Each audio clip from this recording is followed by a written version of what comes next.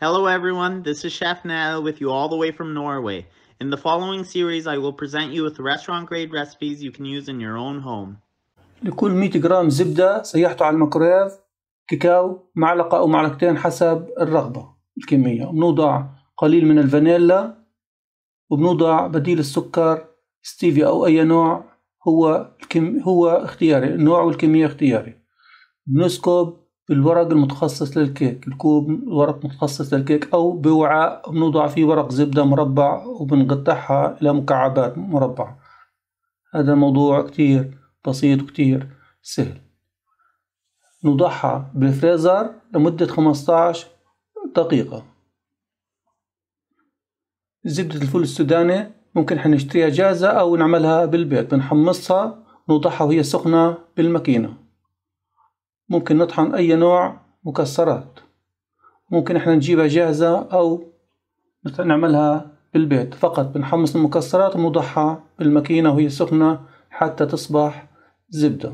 وإذا كانت ماسكة حالها غير لينة بنوضعها بالميكرويف نص دقيقة عشان تكون مثل الزبدة لأنه بعد فترة هي بتمسك حالها.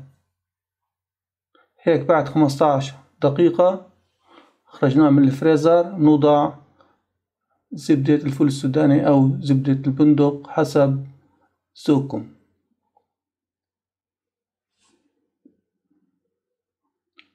وبنرجعها إلى الفريزر أيضا 15 دقيقة.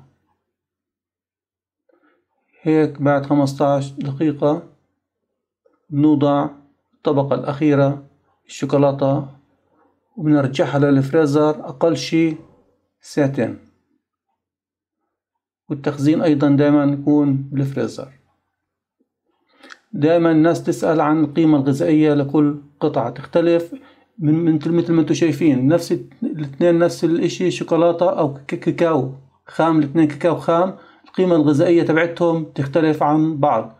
سهل الموضوع لازم أنتم تحسبوا القيمة الغذائية لكل 100 جرام مثلا بنعمل 10 حبات بنقسمهم على 10 حبات. هيك بعد ما بعد ساعتين خرجناها من الفريزر. هي كتير كتير كتير روعة بالأخص لل keto diet ولمرضى السكر. هيك طلعناها من الفريزر.